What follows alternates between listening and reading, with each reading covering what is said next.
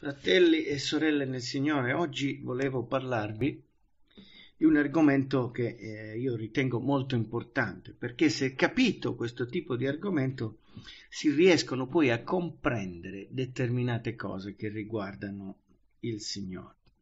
E so, il titolo del, dell'argomento di oggi è il senso delle cose di Dio e il senso delle cose degli uomini cioè quello che noi troviamo scritto nella parola, eh, dobbiamo, dobbiamo, esaminarlo da un certo punto di vista, un, in, un, in, una certa maniera.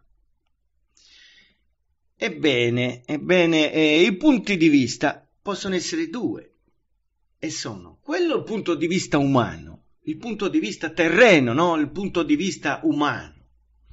Un altro punto di vista invece può essere può essere quello lì, può essere, è quello, quello di Dio, il punto di vista di Dio. Questi due punto, punti di vista qualche volta possono uguagliarsi, cioè possono, possono essere visti, possono essere capiti, no? le cose esaminate dai due punti di vista possono, possono essere, diciamo, uguali. Altre volte invece si differenziano. Oggi andiamo a vedere determinati passaggi biblici che ci mostrano come eh, eh, il Dio dà un significato a determinate cose che può essere diverso da quello che gli uomini gli danno. E cominciamo appunto, cominciamo appunto a leggere quello che Gesù dice a, a Pietro. Matteo capitolo 16, dal versetto 21. Questi sono passaggi che sicuramente conoscete, ma oggi li esaminiamo in questa maniera. Da quell'ora Gesù cominciò a dichiarare ai suoi discepoli che doveva andare a Gerusalemme e soffrire molte cose dagli anziani, dai capi sacerdoti e dagli scribi ed essere ucciso e, rius- e risuscitare il terzo giorno. E Pietro trattolo da parte, cominciò a rimproverarlo, dicendo, tolga ciò il Dio, Signore, questo non ti avverrà mai. Ma Gesù, rivoltosi, disse a Pietro, vattene via da me, Satana, tu mi sei di scandalo. Tu non hai il senso delle cose di Dio, ma delle cose degli uomini. Infatti qui Gesù, vedete, Gesù eh, dice che eh, fa sapere ai suoi discepoli, glielo fa sapere anticipatamente, gli fa sapere che doveva andare a Gerusalemme e che avrebbe dovuto soffrire a cagione, a, eh, come Dio aveva stabilito, a motivo della volontà di Dio. Doveva soffrire, morire e il terzo giorno sarebbe risuscitato. Questo è l'Evangelo, questa è la buona notizia, questa è la buona novella che è per tutti coloro che vengono salvati, grazie a questa buona notizia, grazie a quello che Gesù Cristo ha fatto, che in quel momento raccontava ai suoi discepoli prima che avvenissero tali cose. Questo è l'Evangelo, la morte di Cristo e la sua risurrezione il terzo giorno, una morte violenta, una morte, eh, diciamo una sofferenza che Gesù ha passato e dopo il terzo giorno è risuscitato. Questo è il cuore dell'Evangelo è quel sacrificio che è stato compiuto affinché molte anime si, si convertissero a Dio, sarebbero salvati e purificati per mezzo dello spargimento del sangue di Cristo Gesù appunto nella croce. Ma questo era il messaggio che, che eh, cioè era l'opera che Gesù Cristo è venuto, è venuto a fare sulla terra. È importantissimo. Però vedete, questo era il piano di Dio che lo stava Gesù facendo conoscere ai suoi discepoli. Ma badate bene, no, eh, Pietro, non avendo ancora compreso il piano di Dio, quindi vedendo le cose, diciamo da un certo punto di vista, che era il suo umano, di affetto umano, vedete qui c'entrano gli affetti, gli affetti umani, che talvolta possono essere sbagliati. E qui Pietro gli dice, Pietro gli dice a Gesù, eh, tolga ciò il Dio, vedete, invoca pure Dio, dice che, che, Dio non permetta ciò, ma se Gesù era venuto a fare quello, però Pietro non lo aveva inteso. non aveva, non vedeva quella morte di Cristo, quella sofferenza, secondo il senso delle cose di Dio, vedete? Ma le vedeva con il senso dell'uomo, cioè degli affetti umani, secondo il suo modo di vedere, secondo il suo punto di vista. Che badate bene, non era un punto di vista cattivo, sbagliato dal punto di vista umano, cioè voleva il bene di Gesù. Pietro voleva che non gli avvenisse alcun male, infatti lo dice, questo non ti avverrà mai. Tolga cioè Dio, cioè che lui non avrebbe sofferto e non sarebbe morto. Questo era, era il punto di vista dell'uomo. Io vi dico queste cose, fratelli, vi, vi faccio capire queste cose, vi, vi, comunico queste cose affinché voi comprendiate che quando parliamo di determinate cose alcuni non le capiscono perché le guardano da un punto di vista sbagliato, il loro punto di vista, il punto di vista della sua denominazione, il punto di, il punto di vista de, de, del suo pastore. Di, de, del suo predicatore preferito, del suo libro, del, del suo commentario, diciamo, di cui si serve del continuo. Ecco, guardando le cose della parola di Dio attraverso un punto di vista che è sbagliato, che è sbagliato, non si arriva a comprendere le cose che riguardano le verità di Dio in maniera corretta. Quindi è importante, quando ci approcciamo a studiare la parola di Dio, determinati versetti, dobbiamo domandarci, ma sto comprendendo dal punto di vista esatto, corretto, da quel punto di vista di Dio, dalla volontà di Dio? sto guardando queste cose dal, da, secondo la volontà di Dio e non secondo la mia volontà o la volontà umana? Quindi dobbiamo domandarci queste cose, perché ci sono a volte delle cose che vanno viste sotto un punto di vista umano e altre cose che vanno viste sotto il punto di vista di Dio, secondo il senso delle cose di Dio. Distinguendo queste due cose noi comprenderemo comprenderemo tanti passaggi della scrittura che altrimenti sarebbero oscuri, che dopo andremo anche a, a ricordare. Quindi vedete, abbiamo visto quindi che Gesù annunciava quello che doveva accadergli e Pietro rispose, eh, rispose contrariamente, perché? Perché Gesù lo, lo, gli disse, gli, lo ammonì anche severamente, gli disse tu mi sei di scandalo, tu non hai e, e vattene via da me Satana, vedete come, come lo chiama? Come lo definisce?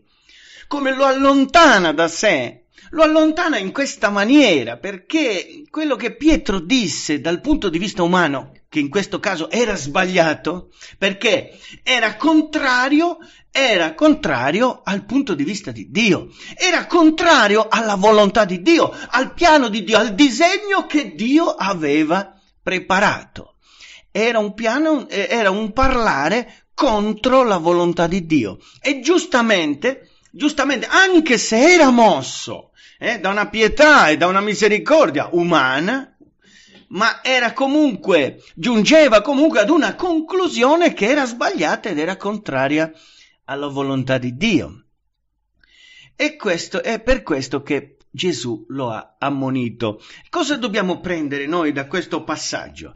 Dobbiamo, dobbiamo capire che Pietro, dal suo punto di vista, non aveva ancora capito il piano di Dio e non aveva una veduta completa, completa del piano di Dio.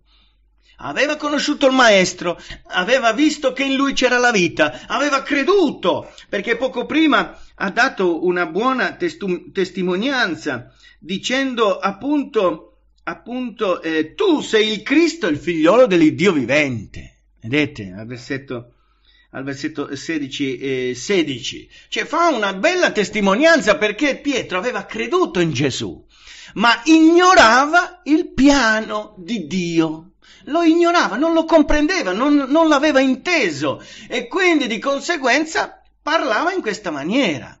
Parlava in una maniera ha reagito alle parole di Gesù in una tale maniera che, che, era contraria alla volontà di Dio.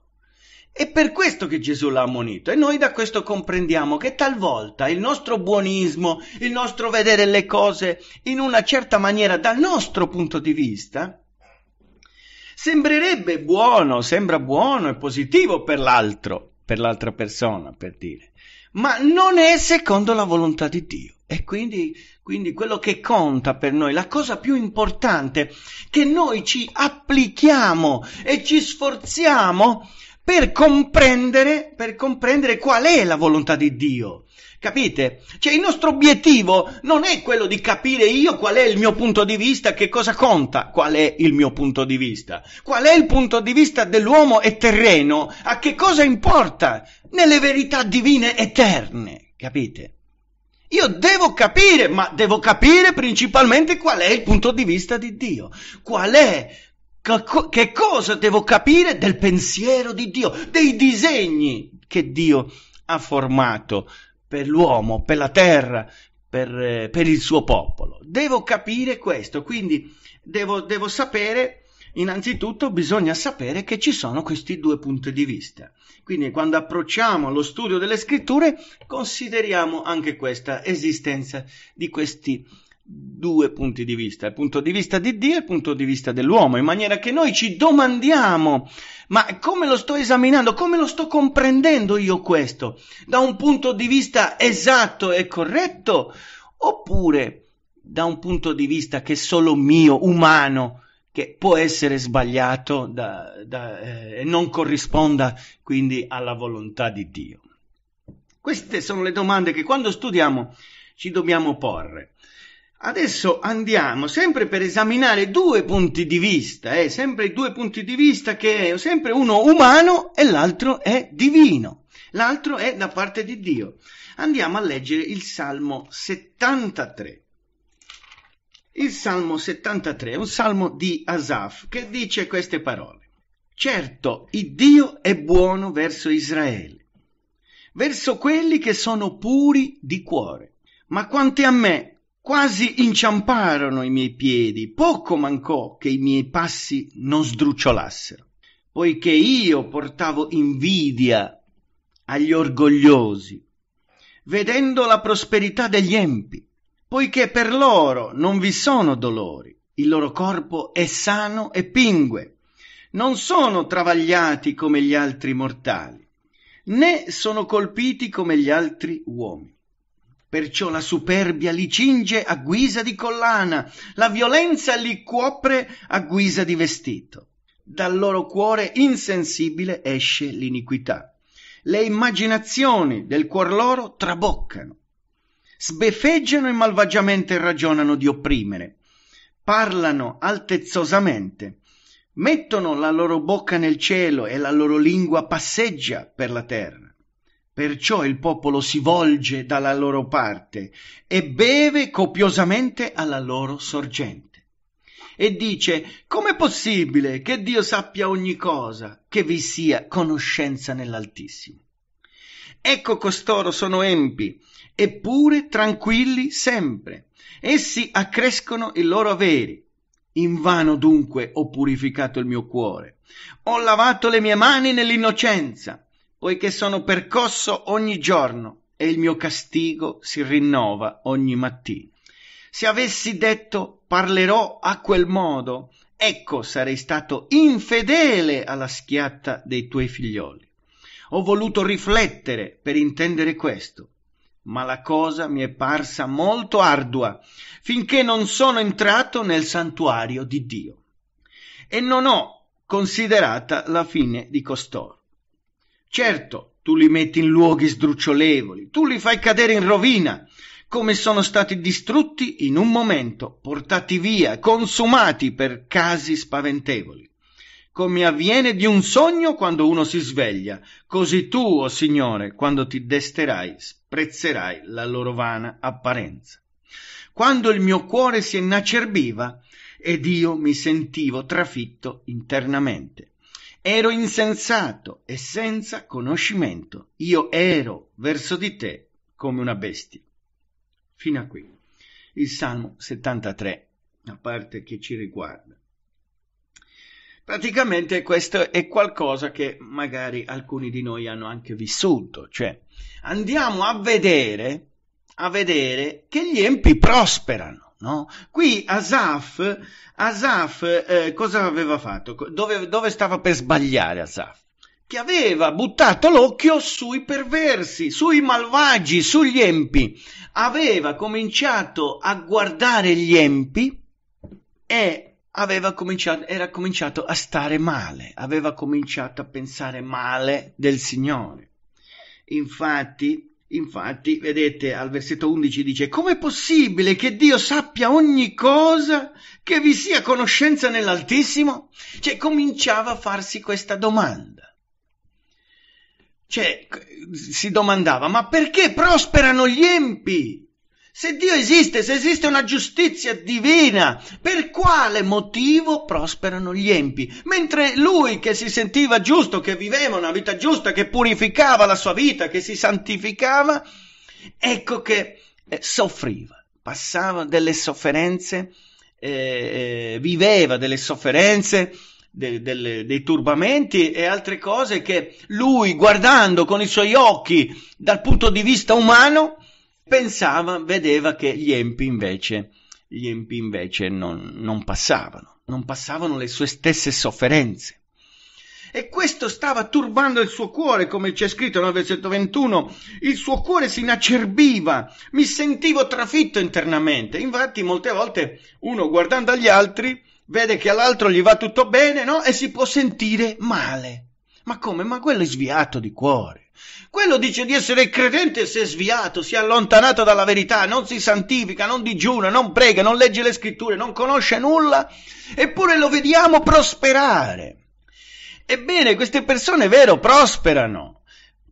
E errore, l'errore di colui che invece si sta santificando è quello di sentire appunto questo dolore, questo di trafiggersi, di sentirsi trafitto internamente come accadeva ad Asaf stava per sdrucciolare, perché questi sentimenti negativi che erano nati in lui, che stavano per farlo sbagliare, cioè stava, era, era in un punto, diciamo che queste cose erano arrivate in un punto in lui che stavano per traboccare in un grave errore.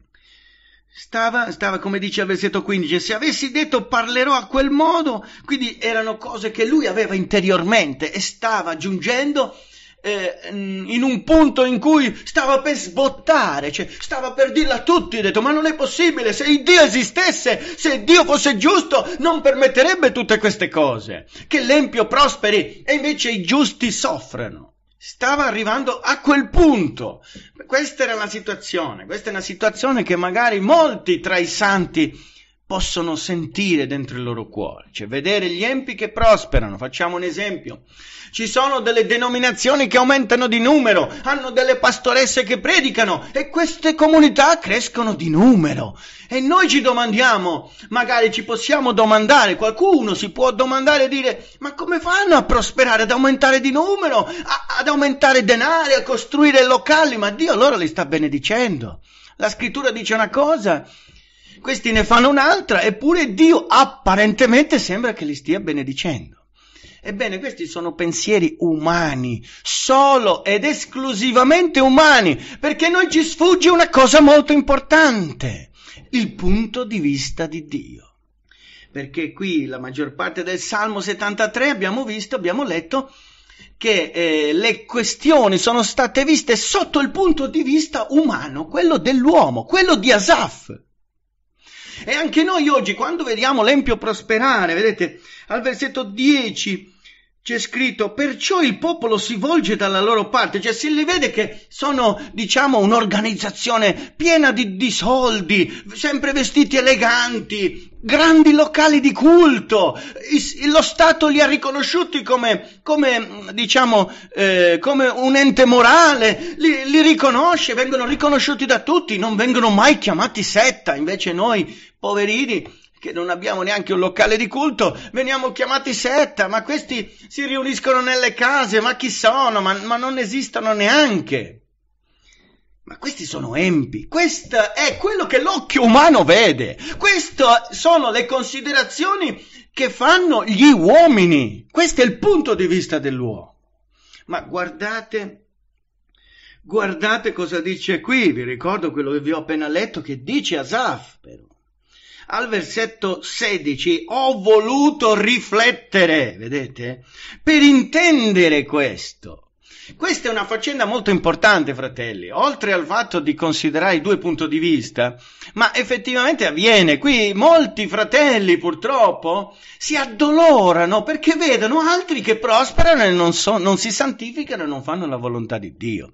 Ebbene, fratelli, non si devono addolorare questi fratelli che si santificano, perché questi fratelli devono conoscere cosa dice la parola. Cosa dice Asaf? Asaf dice queste parole, ho voluto riflettere, quindi, quindi ci, ci, vuole una certa applicazione per capire le cose. E guardate come, come arriva alla conclusione corretta di tutta la faccenda.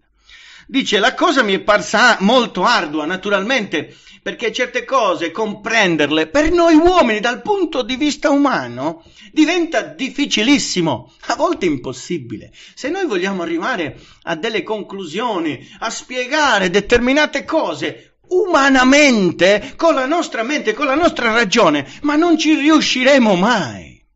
Ci dobbiamo sempre rivolgere a Dio, dobbiamo sempre invocare Dio e andare alla parola, perché è nella parola che noi troviamo ogni tipo di, di risposta. E qui dice, ma la cosa mi è parsa molto ardua finché, vedete quando arriva la soluzione, la soluzione a tutto quello che Asaf stava pensando e stava passando, arriva in questo momento. Finché non sono entrato nel santuario di Dio e non ho considerata la fine di costoro. Qui Asaf sta dicendo che ha risolto, ha riflettuto e il problema è stato risolto quando? Quando lui si è messo dal punto di vista di Dio, perché il santuario di Dio non rappresenta altro, cioè non è che materialmente lui è, è andato e si è innalzato alla, mm, fisicamente alla presenza di Dio. Può essere andato al santuario, può essere andato al tempio di Dio, può essere andato a lodare Dio nel, nel suo tempio, ha riflettuto e Dio gli ha dato la soluzione, gli ha dato la risposta.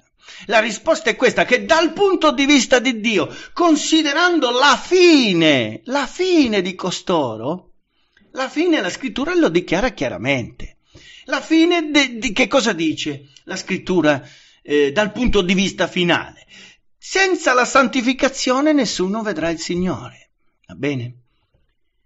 E dice anche che gli empi andranno in perdizione. Quindi la fine degli empi era la perdizione, il tormento eterno.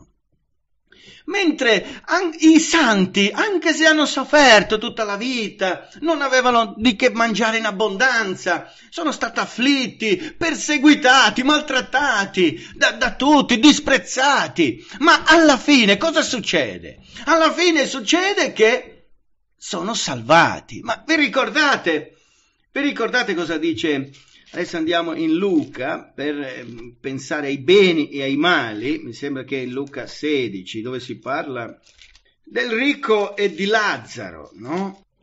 Cioè c'era il ricco che ha vissuto splendidamente, va bene, e Lazzaro era la porta del ricco che voleva mangiare le briciole di pane del ricco. Va bene? Così hanno vissuto la loro vita. Cioè, guardando durante la vita, uno diceva, ma guarda un po', Lazzaro che invoca il Dio, no? Una persona semplice, una persona che, che, vuole fare la volontà di Dio, era pieno di piaghe, era, non aveva di che mangiare, quindi guardandolo in, da questo punto di vista vedevamo una, una cosa che poteva apparire ingiusta davanti a Dio, no? Umanamente parlando, dal punto di vista basso, quello umano. Però guardate dal punto di vista del santuario che diceva Asaf. Alla fine, guardate cosa dice Abramo di quei due.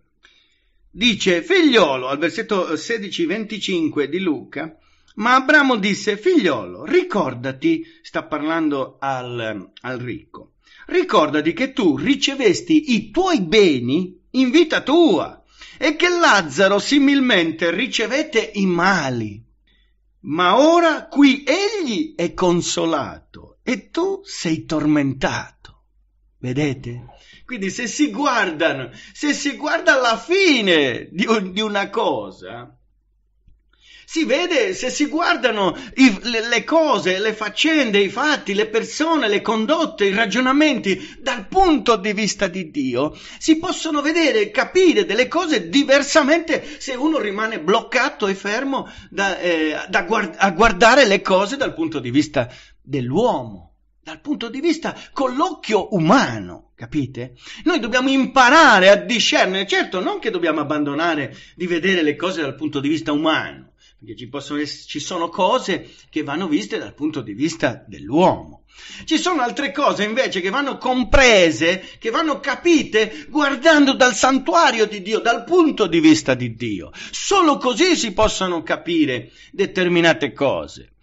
Facciamo un esempio, ad esempio la predestinazione, la predestinazione alcuni vanno completamente in palla, cap- c'è, c'è scritto nella parola la predestinazione, ma non riescono a conciliare determinati passaggi biblici. Ma perché devo evangelizzare se Dio ha già predestinato chi deve essere salvato? Capite? Ma perché questo? Allora, il Dio nella sua volontà, nel suo santuario, ha già predeterminato chi vuole salvare l'ha già stabilito. Questa è una parte che riguarda vedere le cose dal punto di vista di Dio. Ma dal punto di vista nostro umano che ci riguarda, che cosa, cosa è scritto per noi? È scritto per noi di annunziare l'Evangelo a tutte le genti, ci è comandato. Quindi dal nostro punto di vista noi da Dio riceviamo questi ordini. Quindi vedendo dal nostro punto di vista, che è corretto in questo caso, dobbiamo annunziare l'Evangelo a tutte le genti, perché non sappiamo chi è predestinato e chi non lo è, non lo sappiamo.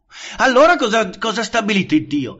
O ci diceva quelli che sono predestinati e quindi annunziavamo l'Evangelo a colpo sicuro, ma non è, non avviene così, o meglio, non sempre avviene così, perché ci sono casi in cui Dio ti parla, no? E ti dice vai a evangelizzare Tizio, Caio, come ho fatto con Pietro, di andare a evangelizzare Cornelio e tutta la sua casa, e, e lì, e lì, o come Dio ha rapito, ha, ha, ha fatto andare sulla via deserta Filippo, l'evangelista, a parlare all'eunuco capite? Cioè, quando il Dio ti muove in una certa maniera, allora vai sicuro. Però in altre maniere, quando sei tu, no, che Dio non ti ha dato un ordine specifico, vai ad annunziare l'Evangelo, puoi annunziarlo a tutte le genti, cioè non è che stai sbagliando, biblicamente è possibile annunziare l'Evangelo a tutte le genti. Però quello che dobbiamo sapere, questo è il punto di vista che, nostro, umano, quindi dobbiamo santificarci, dobbiamo annunziare l'Evangelo a tutti. Ma dal punto di vista di Dio, se noi parliamo, ma chi è che viene salvato? E qui dobbiamo esaminare le cose non più dal nostro punto di vista umano, ma dobbiamo elevarci al punto di vista di Dio. Dobbiamo guardare dal santuario di Dio le cose secondo il senso che Dio ci ha dato nelle sacre scritture, perché attraverso le sacre scritture il, il Signore ci ha fatto sapere attraverso la parola che il Dio ha già stabilito prima della fondazione del mondo e li ha scritti in un libro, nel libro della vita, coloro che lui avrebbe salvato. Colui che lui vuole, che, colui, eh, coloro che lui avrebbe salvato. Quindi fatti chiamati e poi fatti nascere di nuovo. E questo ce l'ha fatto sapere, ma questa è una mera conoscenza che noi, noi abbiamo, quindi da un punto di vista eh, ehm, eh, di Dio abbiamo la conoscenza che saranno salvati solo quelli che Dio ha stabilito e che ha scritto nel libro della vita. Ma dal nostro punto di vista, quando, ci, quando, la scrittura ci dice voi dovete evangelizzare, annunziare l'Evangelo a tutte le genti, lì siamo nel nostro punto di vista, non sapendo, non sapendo quali sono le persone che Dio ha scritto nel libro della vita, siamo, ci è ordinato, ci è ordinato di annunziare l'Evangelo a tutte le genti. Vedete come si spiega? Vedete perché è importante considerare anche questi due punti di vista, vedete il, il, senso, guardare, esaminare, comprendere determinate dottrine, determinati fatti secondo il senso delle, de, secondo il senso delle cose di Dio. Comprendere dal punto di vista di Dio. E poi bisogna comprendere determinate cose dal punto di vista umano. Quindi vedete, quindi non è che il punto di vista umano non deve essere mai considerato. Cioè, noi dobbiamo tenere conto quando il punto di vista dell'uomo in una certa, in una certa in una certa verità dottrinale va, eh, va, va, tenuto come giusto e fino a che punto il, il, le considerazioni eh, dal punto di vista dell'uomo possono essere considerate valide. Cioè io confondendo tutte le cose comincio a dire, no, se io non tengo conto di queste due Dif- di questa differenza di, di, del senso delle cose, comincia a dire: Ma perché deve evangelizzare se Dio li ha già stabiliti, quelli che lui salva? Capite? Qui è perché non hanno il senso corretto delle cose di Dio. Cominciano a parlare a vanvera, cominciano a parlare in maniera inutile. La scrittura dice questo e dice anche quello. La scrittura dice che Dio ha già stabilito, secondo il suo beneplacito, i vasi costruiti, creati per la gloria. Ma dice anche la scrittura che Dio ha, ha preparato già i vasi per la perdizione, li ha già preparati, sono già stabiliti. Ma questo riguarda il punto di vista di Dio, è Dio che opera in questa maniera. È Dio, quindi, quindi non, non, noi, noi dobbiamo comprendere queste cose secondo il pensiero di Dio, cioè noi in questo caso stiamo comprendendo e stiamo aprendo la nostra mente, il nostro cuore ai pensieri di Dio, quello che Dio ha stabilito, ai disegni che Dio ha già stabilito è fermato. Mentre altri passaggi delle sacre scritture, come li devo esaminare? Ma se la scrittura mi ordina, va bene, di annunziare l'Evangelo a tutti, che devo fare? Questo non lo devo considerare perché, perché eh, eh, cioè, ho considerato quello prima, che tanto è Dio quelli che deve salvare li salva. Questi sono altri passaggi biblici. Che cosa riguardano? riguardano noi, uomini, credenti, il nostro punto di vista, cosa Dio ci ha ordinato di fare? Così Dio ha stabilito e così noi dobbiamo fare. Quindi vedete, ci sono passaggi delle sacre scritture che ci fanno sapere determinate cose, ci fanno sapere quello che Dio ha preordinato, quello che Dio ha già stabilito. Ma ci sono altre cose che il Signore ci fa sapere, che ci ordina di fare. Poi possiamo anche non comprendere fino in fondo, va bene? Possiamo accettare anche questo. Possiamo anche non comprendere fino in fondo perché il Dio ha stabilito che eh, anche se lui ha già deciso chi salvare, dobbiamo comunque annunziare l'Evangelo a tutti. Però ricordiamoci che a questo punto c'è scritto, leggiamo, nel discorso che Gesù ha fatto a Nicodemo, tra le varie cose sulla nuova nascita, chi non nasce di nuovo non può vedere il regno di Dio, chi non nasce d'acqua e di spirito non può entrare nel regno di Dio, tra le varie cose che Gesù dice a Nicodemo ci sono anche queste, che ora andiamo a leggere, capitolo 3 di Giovanni, che dice queste cose, 3.12.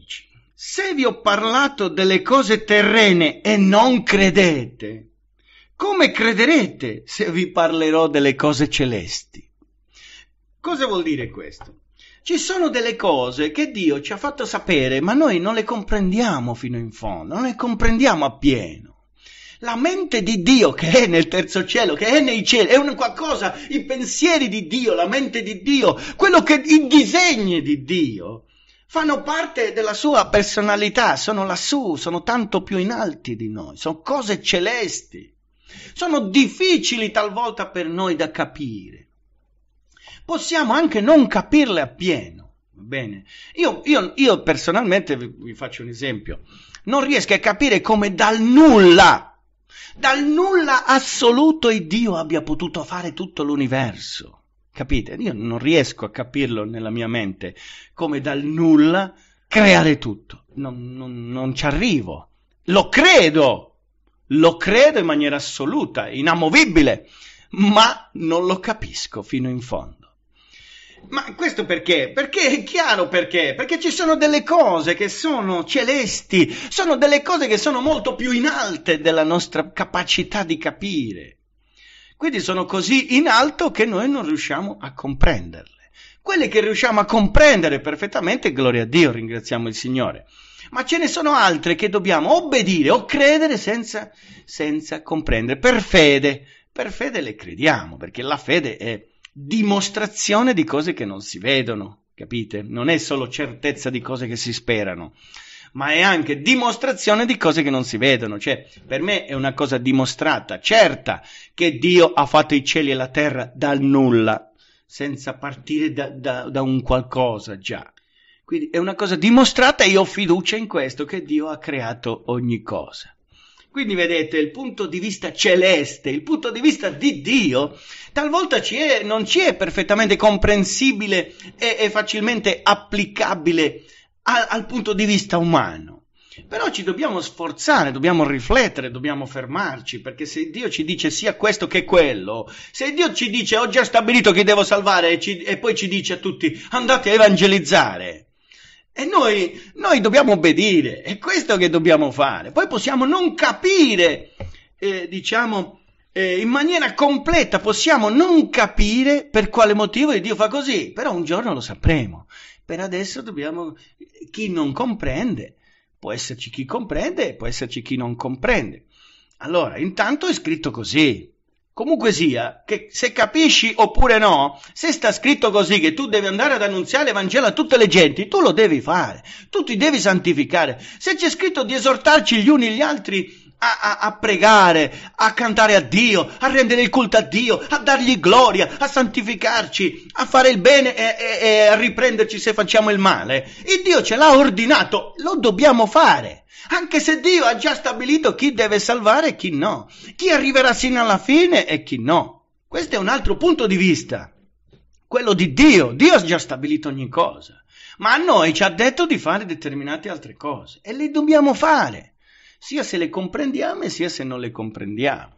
In tutte queste cose non c'è niente di, di così eh, sbagliato, cioè non, non, non, c'è niente di ingiusto da parte di Dio, capite? Il Dio fa quello che vuole il Dio fa quello che vuole. Ed ora, per parlare della giustizia di Dio, eh, vi, voglio fa- un, vi voglio leggere un altro passaggio che lo leggiamo in Matteo, una parabola. È una parabola questa, la troviamo al capitolo 20 di Matteo. La parabola conosciuta come intitolata la parabola dei lavoratori delle diverse ore. Ora noi leggiamo anche questa parabola e poi facciamo le nostre considerazioni anche su questo.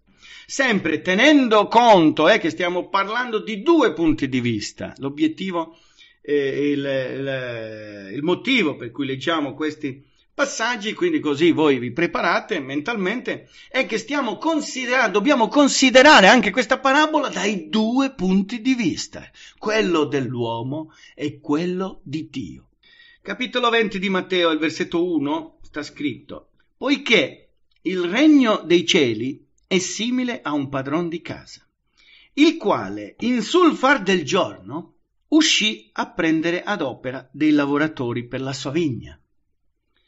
E avendo convenuto coi lavoratori per un denaro al giorno, li mandò nella sua vigna. Ed uscito verso l'ora, l'ora terza, ne vide degli altri che se ne stavano sulla piazza, disoccupati. E disse loro, andate anche voi nella vigna e vi darò quel che sarà giusto. Ed essi andarono. Poi uscito ancora verso eh, la sesta e la nona ora, fece lo stesso ed uscito verso l'undicesima ne trovò degli altri in piazza e disse loro, perché ve ne state qui tutto il giorno inoperosi? Essi gli risposero, perché nessuno ci ha presi a giornata. Egli disse loro, andate anche voi nella vigna. Poi, fattosi sera, il padron della vigna disse al suo fattore, chiama i lavoratori e paga loro la mercede, cominciando dagli ultimi fino ai primi. Allora, venuti quei dell'undicesima ora, ricevettero un denaro per uno, e venuti i primi pensavano di ricevere di più ma ricevettero anch'essi un denaro per uno e ricevutolo mormoravano contro il padrone di casa dicendo questi ultimi non hanno fatto che un'ora e tu li hai fatti pari a noi che abbiamo portato il peso della giornata e il caldo. Ma egli rispondendo a un di loro disse Amico, io non ti fo alcun torto. Non convenisti mecco per un denaro?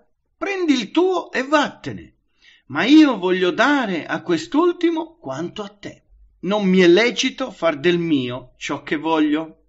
O vedi tu di malocchio che io sia buono? Così gli ultimi saranno primi e i primi ultimi. Io vi ho letto questa parabola, fratelli e sorelle, per farvi ragionare su due cose.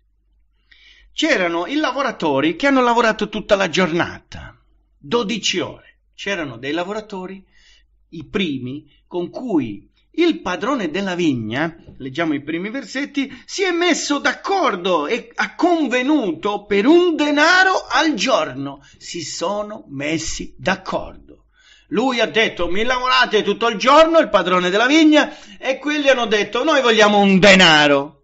E si sono messi d'accordo, andava bene a tutte e due, hanno come se avessero firmato un contratto, anche se era verbale, era sempre un contratto. Hanno convenuto con questo accordo. Lavorare 12 ore lavorare, quindi sopportare il peso di tutto e avrebbero avuto un denaro. Gli andava bene a tutte e due, al padrone della vigna gli andava bene che loro lavorassero e a loro andava bene che gli fosse dato un denaro. Ora, quelli andarono a lavorare, poi vennero altri che lavorarono, chi lavorò un certo numero di ore, chi invece ne lavorò solo una alla fine, quelli dell'undicesima ora. Bene, a questi Dio disse, vi darò quello che sarà giusto. Quindi si è riservato a se stesso, ha riservato a se stesso il padrone della vigna di dare agli altri quello che gli sarebbe parso giusto. Quindi dipende dalla sua volontà, dipendeva dalla sua esclusiva volontà. Quegli altri hanno detto va bene, andiamo a lavorare e accettiamo tutto quello che lui ci darà. Capite? quindi il punto di vista umano, e il punto di vista di Dio, che è il padrone della vigna. Il punto di vista umano lo vediamo dopo, quando arriva il pagamento prendono tutti un denaro, sia quelli che hanno lavorato un 12 ore sia quello che ha lavorato un'ora soltanto in quella giornata. Cioè, dal punto di vista umano hanno mormorato, no? C'è il mormorio degli uomini che dicono, ehi, ma io ho lavorato tu, tu 12 ore, lui ha lavorato solo un'ora e ha, ha preso il mio stesso stipendio. Questo mormorio si è sollevato.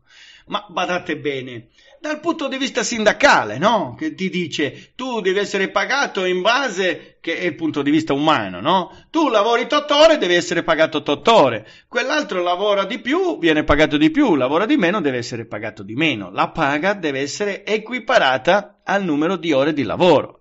Questo dice il punto di vista umano, però, il sindacato.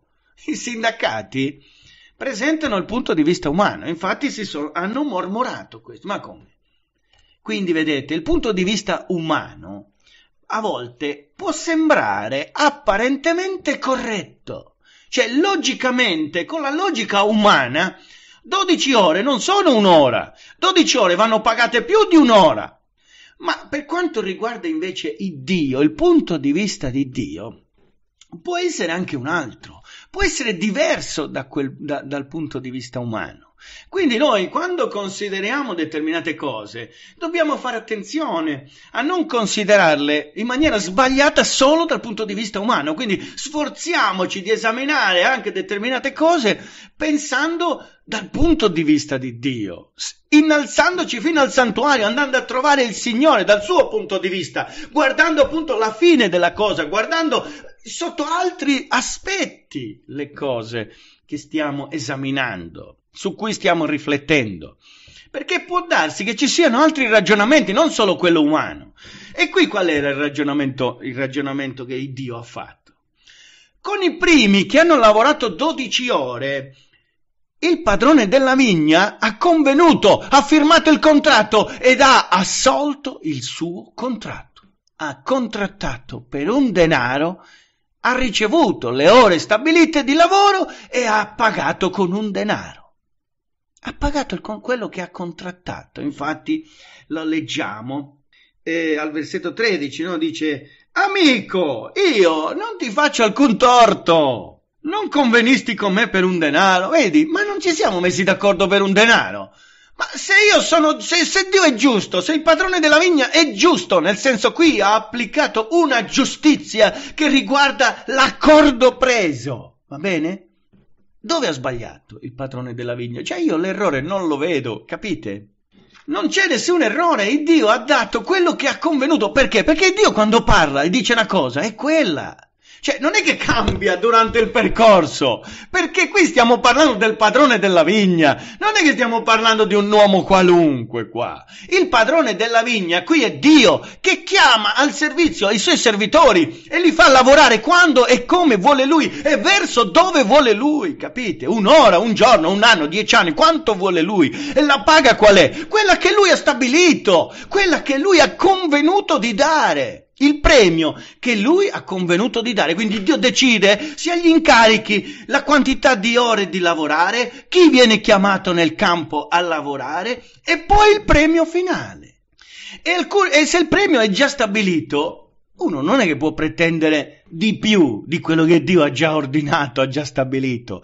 A questi qui delle 12 ore, a quelli della prima ora che, mormo, che, che furono, diciamo, assunti per primi, che hanno mormorato, e Dio gli risponde, ma amico, ma io sono convenuto con te per quella paga, che cosa chiedi di più?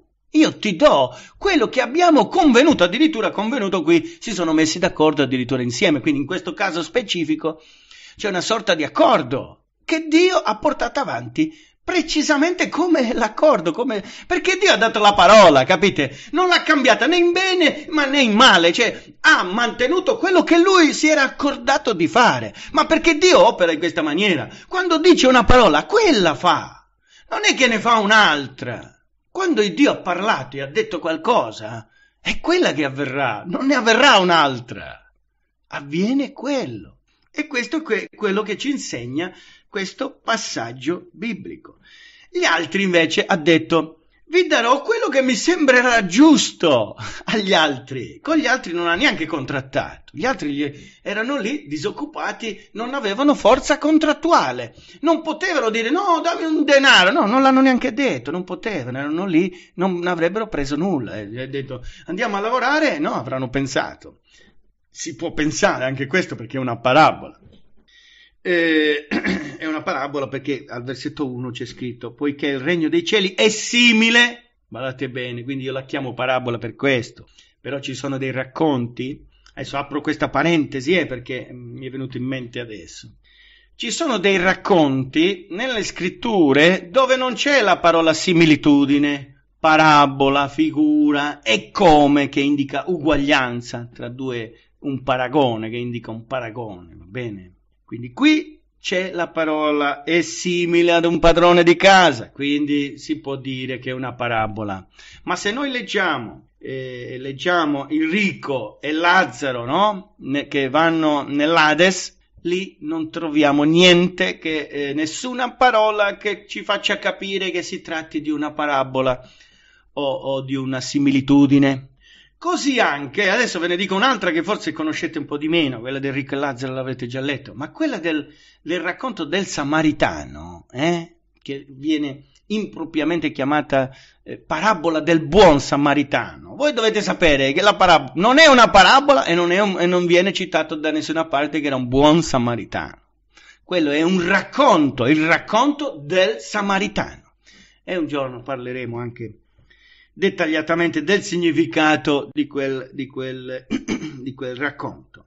Ma adesso volevo soltanto farvi capire che quando si parla di parabola dobbiamo essere sicuri, dobbiamo andare a vedere se effettivamente è una parabola quel, il racconto che noi leggiamo, perché altrimenti se non c'è nessuna parola che ci fa comprendere che quel racconto sia una parabola, dobbiamo dire che è un racconto veramente accaduto. Capite la differenza dove sta? Che Gesù o gli altri, possono, gli altri apostoli, discepoli possono raccontare qualcosa che è realmente accaduta oppure possono raccontare una parabola. Quindi, quindi dobbiamo stare attenti quando leggiamo anche, anche a questo. Ora torniamo alla nostra parabola appunto dei lavoratori delle diverse ore. Quindi a questi ultimi che eh, il padrone della vigna ha detto, ha detto vi, vi, darò quello che è giusto. Quindi quando alla fine gli ha dato lo stesso importo, che ha dato ai primi è perché, è perché il padrone della vigna, come lui stesso dice, perché guardi di malocchio che io sia buono? Cioè, lui ha voluto fare un regalo in più a quelli che hanno lavorato, ha voluto dare di più, ma non ha dato di meno ai primi, capite? Perché lo stipendio giusto eh, per quella giornata di lavoro si comprende da, dal, dal, dalla parabola che era quello lì di un denaro al giorno, cioè lavorando tutte le ore. Se, se, il padrone della vigna ha dato di più agli altri che hanno lavorato meno ore dei primi, è solamente perché il padrone della vigna è voluto essere buono, è stato buono, ha, voluto, ha fatto dei regali, diciamo, gli, gli ha regalati, li ha voluti regalare. Quindi gli altri che hanno preso il loro stipendio non avevano il diritto di guardare con malocchio, dice qui, cioè con un occhio malvagio, la bontà di quel padrone della vigna che ha dato di più agli altri. Vedete? Cioè, questo, vi sto dicendo queste cose per farvi comprendere che talvolta il punto di vista dell'uomo può avere le sue ragioni, eh? attenzione, non è, che, non è che non ha le sue ragioni, ma a noi ci interessa perché quello che poi porta frutto è conoscere qual è il punto di vista di Dio, qual è il punto di vista del padrone della vigna. Eh, non basta conoscere, eh, conoscere il punto di vista dell'uomo, che può avere le sue ragioni, non indubbiamente per un sindacato questo sarebbe stato impossibile, no? Impossibile, no? Uno quanto lavora, quanto deve prendere. Ma se questo padrone della vigna è buono e dà a quelli che lavorano tanto una cifra e a quelli che lavorano poco gli dà la stessa cifra, ma perché dobbiamo eh, dire che c'è una ingiustizia? Per quale motivo c'è una ingiustizia? Non ci vedo io nessuna ingiustizia nell'operato del padrone della vigna. Ma, fratelli, il padrone della terra chi è? Chi è il padrone di tutti gli esseri viventi? Chi è il padrone di tutto l'universo, di ogni uomo e donna e fanciullo. Perché ci può essere una ingiustizia se Dio, ad esempio, fa cadere un aereo e, e, e, e chiama tutti, tutti, eh, tutti i passeggeri di quell'aereo e un altro aereo invece lo fa arrivare a destinazione? Dov'è l'ingiustizia? Non ce n'è ingiustizia, capite? Se Dio decide di salvarne uno e di eh, di perderne un altro. Ma dov'è l'ingiustizia? Ma il padrone non può fare quello che è suo, di quello che è suo, quello che vuole. Il vasaio non fa dei vasi, non li, non li fa forze come vuole lui. Perché c'è un'ingiustizia quando fa un vaso di sua proprietà lo fa a perdizione e invece un altro lo fa, a, a, fa, lo fa come un vaso di misericordia? Dov'è l'ingiustizia? Io non ce la vedo, capite? Ma il Dio delle sue proprietà fa quello che vuole, come ognuno di noi, in una certa maniera, cerca di fare delle sue proprietà quello che vuole. No? Quando uno ha 10 euro in, ter- in tasca, 20 euro, 50 è quello che ha, non li spende come vuole. E allora? Cioè, io vengo, io vengo da te e ti dico, come li hai spesi 10 euro? Ah, ho comprato un chilo di pane, eh, un chilo di patate e una brioscina. Io ti potrei dire, ah, vedi, hai sprecato i soldi, quella brioscina non la dovevi comprare. Ma, cioè, ma il proprietario dei soldi sei tu, non puoi fare quello che vuoi tu. Cioè, se non vai a chiedere niente agli altri, faccio un esempio, no? Quindi non puoi usarli come vuoi tu. Allora, se tu usi quei soldi come ti pare a te che sono i tuoi, li hai lavorati e sono i tuoi, ma perché Dio, se ha lavorato per, per, per creare tutto quanto, non può fare del suo creato quello che vuole? Ma chiederà forse egli chiederà forse egli all'uomo quello che, che, che, deve fare? E questo lo leggiamo, lo leggiamo in Giobbe, perché rientra perfettamente questo passaggio in quello che stiamo dicendo. Dobbiamo andare in Giobbe. Giobbe 30. 4 al versetto 33. Dovrà forse Dio, guardate, guardate le parole di Eliù, eh? Eliù che parla a Giobbe, che si riteneva giusto, cioè riteneva che era stato messo, diciamo che stava soffrendo ingiustamente praticamente Giobbe. E invece c'erano le, i suoi motivi, che noi ancora oggi leggiamo, che siamo consolati no? dei motivi. E ora Eliù, che era un giovane, stava ammonendo severamente Giobbe. E tra le parole che Eliù ha detto a Giobbe ci sono anche queste. Al versetto 33, Dov- dovrà forse il Dio rendere la giustizia a modo tuo che tu lo critichi? Cioè, ma Dio deve rendere giustizia come vuole l'uomo, fatemi capire. Può far vivere e morire co- secondo come vuole l'uomo. Ah, io voglio, io voglio qui, io voglio là, io schiocco le dita e dico, Dio, fai questo, Dio, fai quest'altro. Ma Dio è al nostro servizio? Non è forse il contrario? Non è forse il contrario che siamo noi uomini che siamo al servizio di Dio e non Dio al nostro servizio? Qui infatti Eliù a Giobbe, a Giobbe, che stiamo parlando di un uomo di Dio, eh? stiamo parlando di un uomo che è il Dio, l'Eterno, guardate cosa dice l'Eterno di Giobbe, eh? e, e neanche lui aveva il diritto di lamentarsi davanti a Dio, di criticarlo, L'Eterno dice di Giobbe, hai tu, 1.8 di Giobbe, hai tu notato il mio servo Giobbe? Non ce n'è un altro sulla terra che come lui sia integro, retto, tema il Dio e fugga il male. Dice, non ce n'è un altro addirittura nella terra in quel periodo, non c'era un altro che era come Giobbe e viene lodato dallo stesso Eterno, eh? Però quando poi ha sbagliato Giobbe, eh, Dio l'ha ripreso. Infatti, dopo che parlò Eliù, dopo gli parla l'Eterno e lo ammonisce severamente, gli fa comprendere che Giobbe, benché si stesse comportando bene, non poteva pretendere nulla da Dio, cioè Dio fa quello che vuole, secondo quello che ha deciso di fare, perché c'è un motivo, capite? Se Gesù ha sofferto, c'era un motivo, e gloria a Dio perché Gesù ha sofferto ed è anche morto ed ha sparso il suo sangue. Perché così noi, per quel sangue siamo stati, siamo stati salvati, i nostri peccati sono stati rimessi, gloria a Dio, vedete, se, se uno si lamenta se, se, come Giobbe, no? Adesso siamo consolati dalle sofferenze di Giobbe. E Giobbe però giustamente, giustamente nel senso dal suo punto di vista si lamentava eh, perché sto soffrendo se, se, io mi sono condotto in una certa maniera. Ma Dio fa quello che vuole, anche con Giobbe. E Liu glielo ricorda con queste parole, e Liu le ha ricordate, gli ha detto, ma dovrà forse Dio rendere giustizia a modo tuo che tu lo critichi? Cioè, ma Dio viene a chiedere a noi uomini come deve rendere lui giustizia?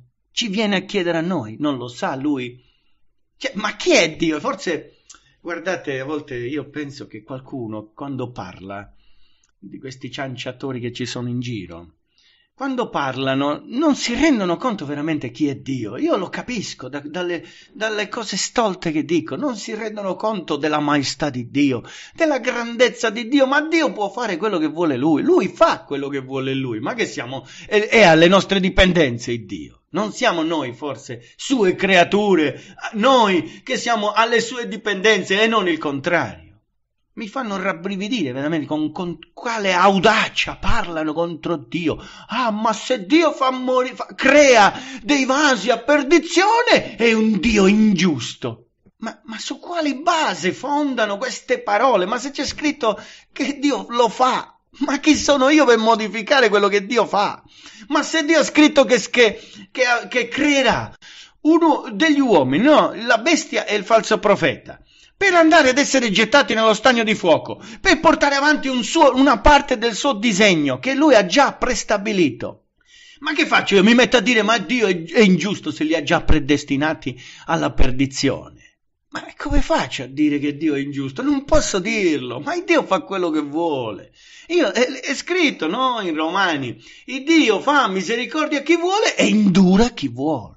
Ma una volta che uno dice così, come è successo, eh, come abbiamo letto nel, nel, nel, quello che hanno convenuto il padrone della vigna co, con i lavoratori, si hanno convenuto co- hanno deciso una certa cosa, è stato stabilito così il Dio, il padrone della vigna, ha mantenuto l'accordo preso. In questa maniera, invece, citando quel passaggio eh, della legge che dice appunto che Dio fa misericordia a chi vuole e indura a chi vuole, una volta che Dio ha stabilito da sé, perché più grande di lui non c'è nessuno, fa quello che vuole, egli è il vasaio, ma una volta che dice così, ma non è libero di fare quello che vuole. L'ha detto e lo fa. Come è successo col, col padrone della vigna. Ha detto che ha convenuto per un denaro e un denaro è stato, non è uscito fuori. Non gli ha dato di meno. Gli ha dato quello che aveva convenuto, quello per cui c'era stato un accordo, un pensiero, un, un, contratto stabilito prima, una parola detta prima. Ecco, anche per quanto riguarda la salvezza e la perdizione, il Dio ha già prestabilito ogni cosa. Non c'è più niente da modificare. Questo è il punto di vista di Dio, va bene? Non c'è più niente da modificare, Dio ha già stabilito ogni cosa.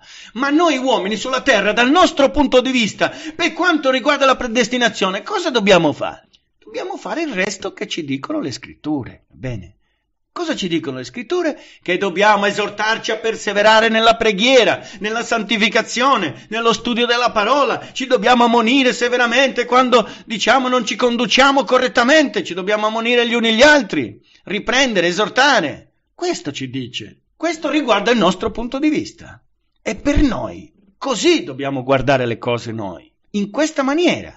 E conoscere, conoscere, quindi questo da applicare in pratica e conoscere dal punto di vista di Dio, conoscere che Dio salva chi vuole Lui. Capite? Quindi se abbiamo annunziato l'Evangelo a migliaia di persone e se ne è convertita solo una, qual è il problema? È perché Dio ha stabilito che solo quello doveva essere salvato.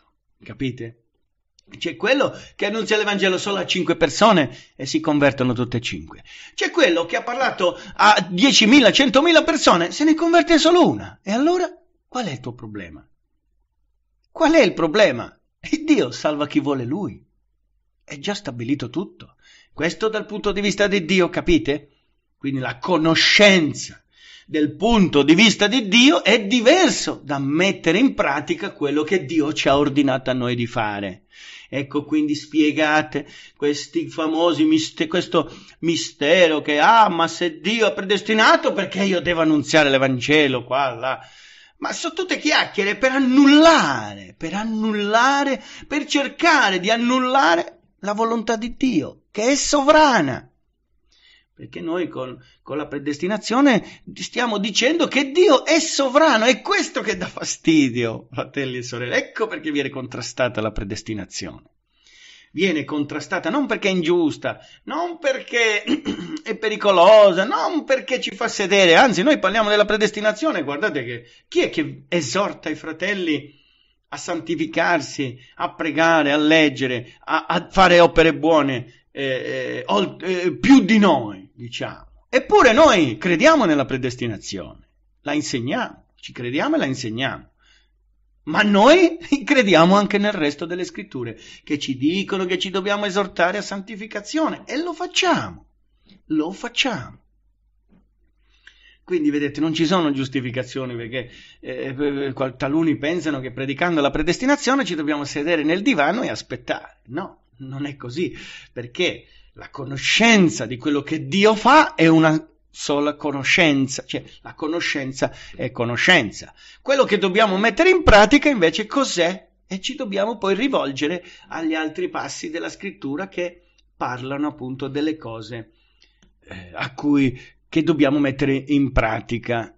Quindi vedete, fratelli, i punti di vista. I punti di vista possono essere di Dio e possono essere quello dell'uomo. Quello dell'uomo può essere giusto, ad esempio dal punto di vista della predestinazione, quando viene citato, quando viene citato che tu devi operare determinate cose, lì eh, devi sapere qual è il tuo punto di vista e cosa devi fare. Quello è corretto. Invece in altri, mom- in altri, in altri, in altri punti, se ti metti a giudicare Dio, quello che ha fatto Dio, per quale motivo l'ha fatto, che è ingiusto, eh no, allora quel punto di vista dell'uomo è sbagliato così non va più bene, come anche quello di Pietro, anche se si parla di cose buone, no? Vi ricordo quel passaggio di Pietro citato in precedenza, che non voleva che Gesù morisse, non voleva che gli accadesse nulla di male. Ma se si trattava della sua sofferenza, la sua morte, la sua risurrezione, che è la buona novella della salvezza, cioè, capite bene, Pietro non ha parlato bene, non ha parlato secondo il senso delle cose di Dio, ma ha parlato del senso delle cose degli uomini e questo non va bene, non andava bene davanti a Dio.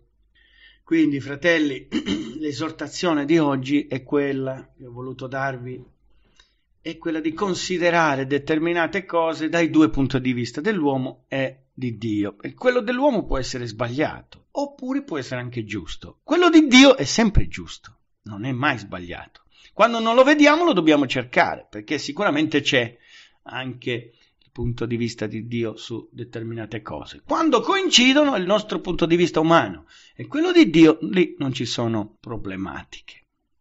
Questa era l'esortazione che volevo darvi questa sera.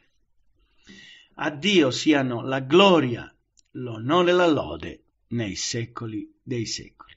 Amen.